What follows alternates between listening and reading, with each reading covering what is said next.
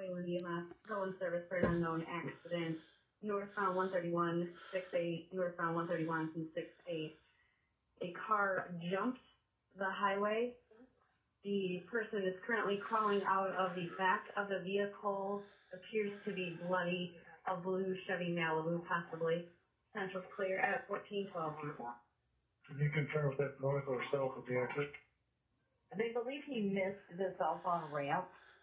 Not blocking the highway though, but should be southbound. Based on our mapping system, believes the vehicle ended up north of the overpass. Again, believes to be just north